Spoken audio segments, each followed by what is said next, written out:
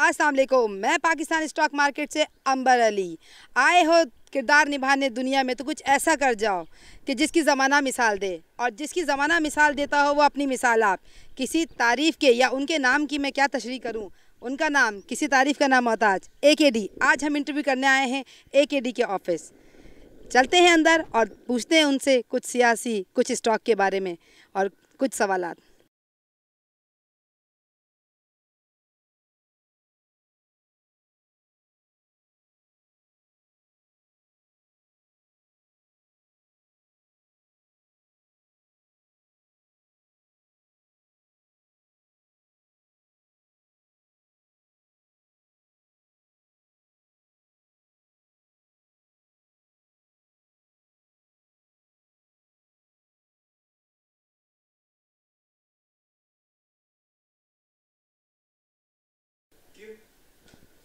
अस्सलाम वालेकुम। मैं पाकिस्तान स्टॉक मार्केट अपडेट से अंबर अली। आज हम जिस शख्सियत के पास आए हैं, वो किसी तारीफ़ की नाम मोहताज अपना नाम आप किंग ऑफ़ स्टॉक मार्केट माशाल्लाह से, sir A K D Akeel Karim daddy साहब। सर, अस्सलाम वालेकुम। सर, सबसे पहले आप हमें बताइए कि आजकल की चलती सियासी सूरत हाल जो है इसके तहत आप बताइए स्टॉक मार्केट का ग्राफ आप कहाँ दिखते देखिए, इस वक्त जो सिचुएशन है रेस्ट सिचुएशन है अनरेस्ट है मुल्क में ना पॉलिटिकल पार्टियाँ आपस में एक दूसरे के सफ़ा रहा है, ठीक है? तो इसमें हमेशा इक्विटी मार्केट थोड़ी प्रेशर में रहती है। लेकिन वैल्यूएशन इतनी सस्ती है कि आज भी इस मार्केट में इन्वेस्टर को एडवाइस किया जाता है कि बिल्कुल इन्वेस्ट करें, क्योंकि लेकिन स्पेकुलेटर को दूर रहना चाहिए, क्योंकि डे टू डे ट्रेड करना इस वक्त सिचुएशन नहीं है कि आप डे टू डे ट्रेड करें। तो इन्वेस्टर के लिए मैं समझता हूँ ये मार्केट सस्ती भी और अच्छी भी है। शॉर्ट टाइम में ये दो तीन महीने बाद हम इसको बहुत अच्छे लेवल पे देख सकते हैं। ईसीसी e ने ऑयल मैनेजमेंट कंपनी को जो फंड रिलीज़ किया है, इसको पॉजिटिव इम्पैक्ट आएगा या आप क्या समझते हैं? देखें ऑयल मार्केटिंग कंपनी और रिफाइनरीज के पैसे रुके हुए हैं, जिसकी वजह से उनको इंपोर्ट में मुश्किल आ रही है। और अगर इसी तरह इनको लिक्विडिटी इशू होगा तो आपकी रिफाइन प्रोडक्ट मार्केट में नहीं मिलेगी। और शॉर्टेज हो सकती है तो ये गवर्नमेंट ने अच्छा स्टेप्स लिया है कि जिन जिन के पैसे निकलते हो, उनको भले आप स्लोली देते जाएँ, ताकि उनका भी काम चलता रहे और गवर्नमेंट को भी मुश्किल ना हो। सर टाइम ऑफ़ इंडिया में आर्टिकल आया है कि पाकिस्तान को नेक्स्ट 36 अरब रुपए रिटर्न करने हैं आईएमएफ को। तो आपको क्या लगता है पाकिस्तान इतना अरेंज कर पाएगा? देखिए, पाकिस्तान के ऊपर जो लोन है ना, अब टाइम्स ऑफ़ इंडिया का तो मैं कुछ नहीं कहता, लेकिन हाँ मैं ये ज़रूर कह सकता हूँ कि हमारे मामला इतने ज़्यादा बुरे नहीं हैं जितने लोग बता रहे हैं। हमारे पॉलिटिकल स्टेबिलिटी आ जाएगी तो हमारे इशू ख़त्म हो जाएँगे। और जो रीपेमेंट हमारी है, उसी तरह हमारे सामने आगे कमिटमेंट भी पड़ी हुई है। और हमारे अगर बजट वगैरह को हम देखते हैं तो हमने रेवेन्यू टारगेट इस दफ़ा अच्छा अचीव किया है। और आगे भी मैं समझता हूँ गवर्नमेंट को चाहिए ज़्यादा सब्सिडी वगैरह से अवॉइड करें। और जो प्रॉपर जो पुअर आदमी है, उसके लिए आप ज़रूर सब्सिडी रखें। तो मैं समझता हूँ कि अभी पिछले दिनों ऑयल की प्राइस बढ़ी है, हम अप्रिशिएट करते हैं, क्योंकि इसी तरह गवर्नमेंट अगर अपनी सारी सब्सिडी विड्रॉ कर लेगी तो मुझे नहीं लगता कि दुनिया का कोई भी मुल्क पाकिस्तान को मना कर सकता है। और इस वक्त भी पाकिस्तान की जो जीडीपी की साइज़ है 388 बिलियन डॉलर तो ये अगर हम देखते हैं तो तकरीबन सात हज़ार साठ अरब रुपए की हमारी जीडीपी इस वक्त है। और अगर हम इसको डेट से कंपेयर करते हैं तो डेट काफ़ी ऊपर नहीं है, नीचे है। तो पहली बात तो ये है कि लोगों को ये समझने की ज़रूरत है कि पाकिस्तान के नंबर इतने बुरे नहीं हैं जितने लोग पैनिक करने के लिए बताते हैं। तो मेरा अपना ख्याल है कि हम हम अपनी इकनॉमी को और डेफिनेट आगे बेहतर होता हुआ भी देख रहे हैं और इन किसी किस्म के डिफ़ॉल्ट का कोई भी ख़तरा नहीं है। पिछले चार साल में में हमने अच्छी खासी 20 बिलियन डॉलर से ऊपर की रीपेमेंट की है। और आगे भी हमारी कैपेसिटी है कि हम ये रीपेमेंट बहुत आसानी से करेंगे और इसकी वजह से किसी किस्म की प्रॉब्लम भी नहीं होनी चाहिए।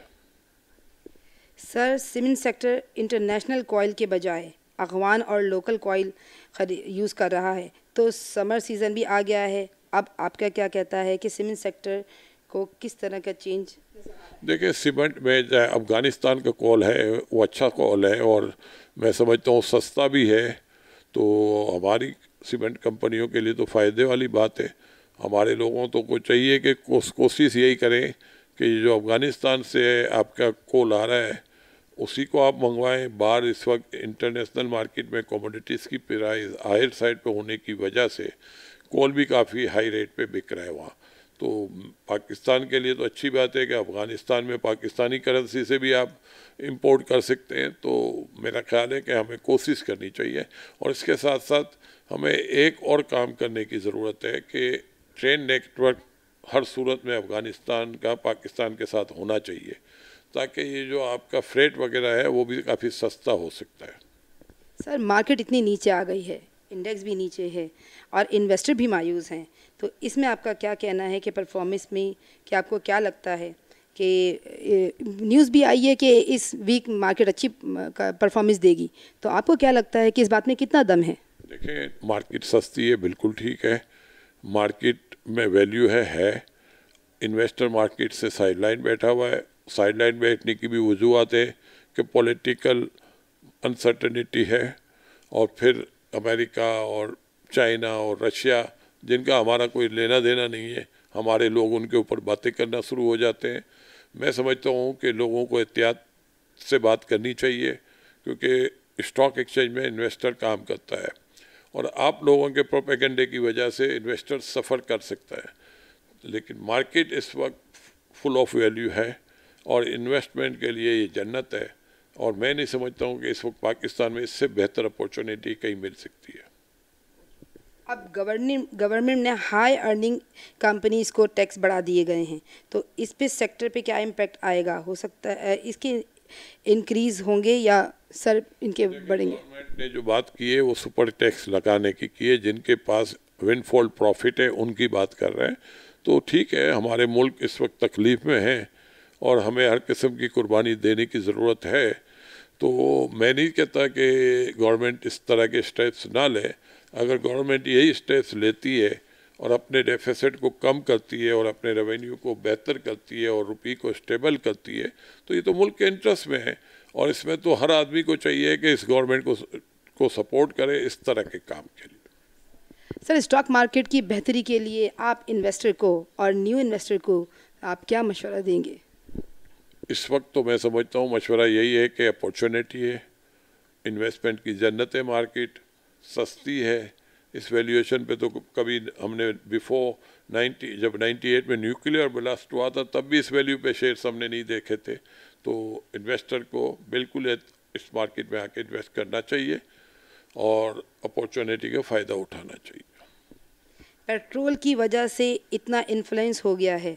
कोई मार्केट इम्पैक्ट आएगी। मार्केट में जो इन्वेस्टर हों लोअर इन्वेस्टर हों या ओवरसीज़ तो आपको क्या लगता है इस वक्त वो मार्केट में रहें या मार्केट से एग्जिट कर जाएँ? देखिए ओवरसीज इन्वेस्टर तो जारी बात है जब डिवेल्यूएशन होता है तो वो अवॉइड करता है मार्केट में काम करने से। लेकिन लोकल के तो पास रुपी है तो उनको तो कोई प्रॉब्लम नहीं होनी चाहिए। उनके लिए तो मैं समझता हूँ ना कि अपॉर्चुनिटी है। सर सर मेरा आपके आपसे सवाल है कि जो स्टेट बैंक ऑफ़ पाकिस्तान है उन्होंने अभी एक डेटा रिलीज़ की है। फॉरेन डायरेक्ट इन्वेस्टमेंट के ऊपर कि फ़िज़िकल ईयर 2022 के 10 मंथ्स में फॉरेन डायरेक्ट इन्वेस्टमेंट का जो प्रॉफिट और डिविडेंड है, वो 10 परसेंट इंक्रीज़ होगा। और ये भी बताया गया है कि किन किन सेक्टर्स में होगा, जैसे कि food and beverages telecom financial business chemical and power sir आप इस डेटा को कैसे देखते हैं कि क्या ये राइट है कि इस सेक्टर्स में लोगों को बाइंग करनी चाहिए, आगे चल के ये अच्छा परफॉर्म करेंगे?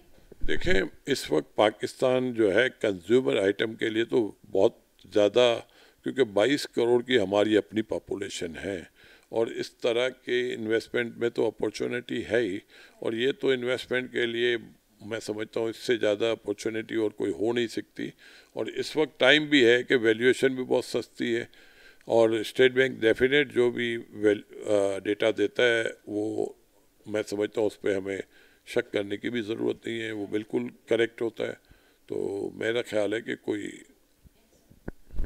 ओके सर सर मेरा नेक्स्ट क्वेश्चन है कि जो काइबो रेट है वो 264 बेस पॉइंट्स यानी 14.10 परसेंट इंक्रीज़ हुआ है। 13 ईयर हाई रेट इसने हिट किया है। तो uh, तो इन्फ्लेशन भी और 13 और 14 परसेंट प्रेडिक्ट किया है कि फ्रॉम जून टू सितंबर ये और इंक्रीज़ होगा। तो आप कैसे देखते हैं कि उस वक्त मार्केट कैसे परफॉर्म करेगी? इसके एडवांटेजेस और इसके डिसएडवांटेज क्या है हमारी इकोनॉमी के लिए और हमारी मार्केट के लिए भी? देखिए, इस वक्त जो है, आपने ये बात की इन्फ्लेशन की। तो इन्फ्लेशन तो हर साइड पे है और ये कोई हम अकेले नहीं है, पूरी दुनिया का इशू है। और अभी हमने ऑयल प्राइस बढ़ाई है, उसका भी इन्फ्लेशन आएगा। लेकिन गवर्नमेंट हत्तल इम्कान कोशिश करिए कि पोर को नुकसान ना हो। तो आपकी ये बात कि इन्फ्लेशन मैं समझता हूँ काफ़ी हायर साइड पे जाएगा 18-20 परसेंट तक भी जा सकता है और उस टाइम पे डेफिनेट इंटरेस्ट रेट बढ़ाने की भी बातें हो रही होगी। लेकिन इस वक्त अगर हम काइबो रेट तो देखते हैं जो चौदह, साढ़े चौदह के बीच में है तो मेरा अपना ख्याल है कि इस वक्त रुपी भी काफ़ी अंडर वैल्यू है।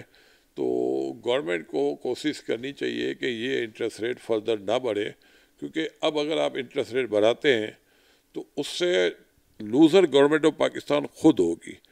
क्योंकि अगर इस वक्त चौदह पंद्रह परसेंट पे आप काइबो रेट है और अगर आप बोरो करने जाते हैं तो काइबो प्लस थ्री और काइबो प्लस फोर से नीचे तो आपको मिलेगा नहीं।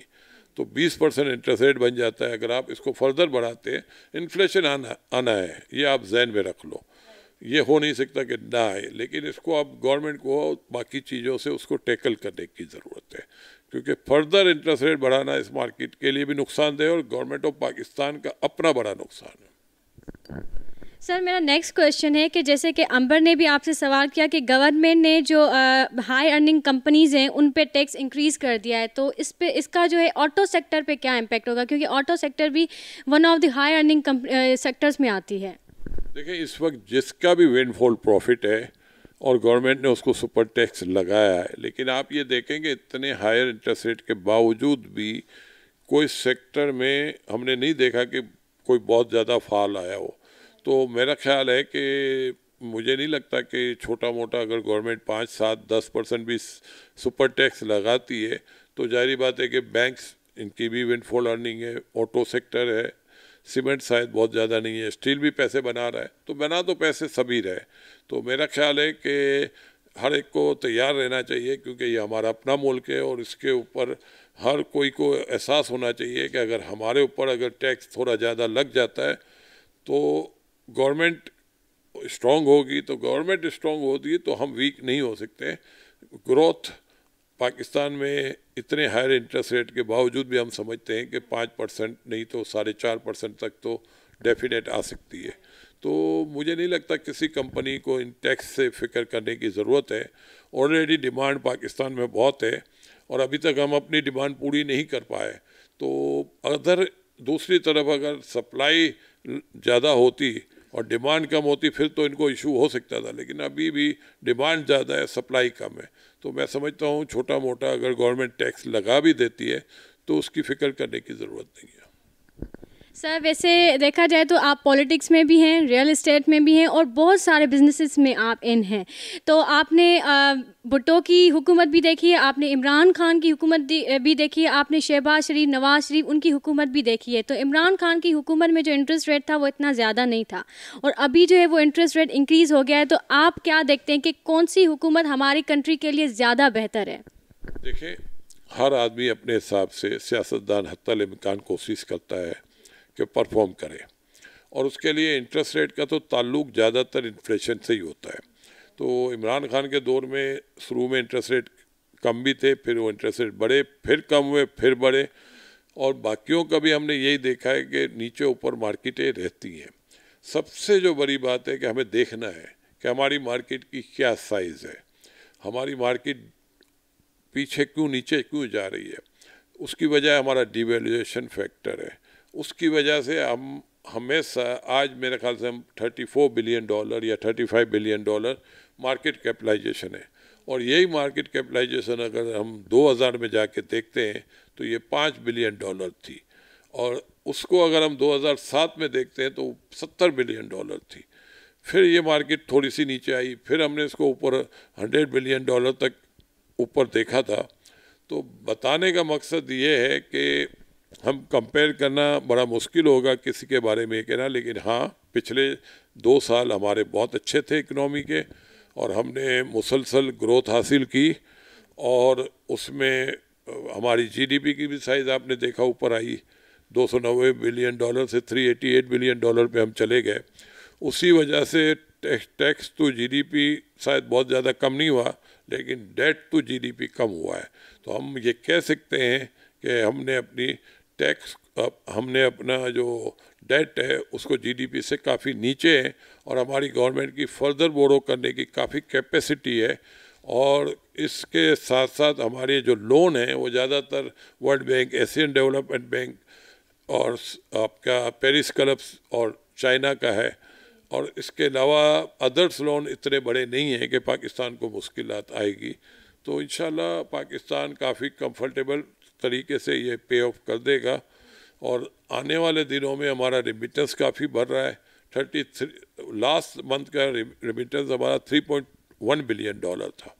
और ये ऑल टाइम हाई है। तो हम एक्सपेक्ट करते हैं कि अगर रिमिटेंस थोड़ा और बढ़ जाता है और आपका एक्सपोर्ट के नंबर अच्छे आ जाते हैं तो इन ताला पाकिस्तान की फ़िक्र आने वाले दिनों में कम हो सकती है, क्योंकि आपका करंट अकाउंट बेहतर हो जाएगा तो मुझे नहीं लगता कि आपको कोई बहुत बड़ा, बहुत ज़्यादा वरी होने की ज़रूरत है। आप डिसीज़न लें, जो भी डिसीज़न लेने मुल्क के इंटरेस्ट में लेते जाएँ डिसीज़न नहीं लेंगे तो फिर ख़राबी होगी और उससे नुकसान होगा। पाकिस्तान हर सूरत में मैं ये इनको, जो भी गवर्नमेंट के लोग हैं, उनको ये मैसेज देना चाहता हूँ कि आप प्रायोरिटी पे एक ही जहन में बात रखें कि मुल्क को स्ट्रॉन्ग करना है। मुल्क के इंटरेस्ट की पॉलिसी बनानी है। बिजनेसमैनों ने पैसे बहुत बना लिए और एक आधा साल अगर हम पैसे नहीं भी कमाते तो कोई ऐसी बात नहीं है, हम अपने मुल्क को स्ट्रॉन्ग देखना चाहते हैं और उसके लिए ही दुआ गो हैं। Sir thank you so much हम बहुत ही मतलब इंतज़ार कर रहे थे कि आपका इंटरव्यू हो. इवन बहुत सारे व्यूवर्स की भी रिक्वेस्ट थी कि आपका इंटरव्यू लास्ट में मैं आपको रिक्वेस्ट करूँगी कि आप इन्वेस्टर्स को क्या मैसेज देंगे कि जब भी वो स्टॉक मार्केट में आते हैं तो बहुत सारे लोग कहते हैं आप एहतियात से काम करें.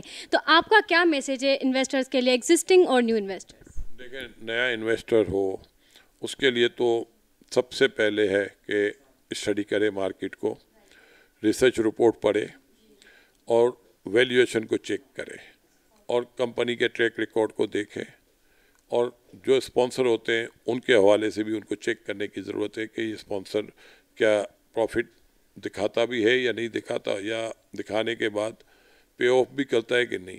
तो मैं समझता हूँ देखें वैल्यू मार्केट में बहुत है अपॉर्चुनिटी बहुत है, लेकिन ज़ाहिर बात है कि नया इन्वेस्टर उसका आदि नहीं होता।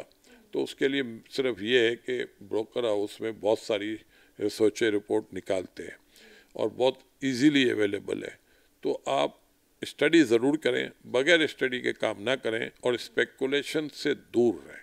वरना स्पेकुलेशन आपको नुकसान पहुँचा सकती है और उससे ये होगा कि फिर आगे फ्यूचर में आप इन्वेस्टमेंट करने के काबिल नहीं रहेंगे।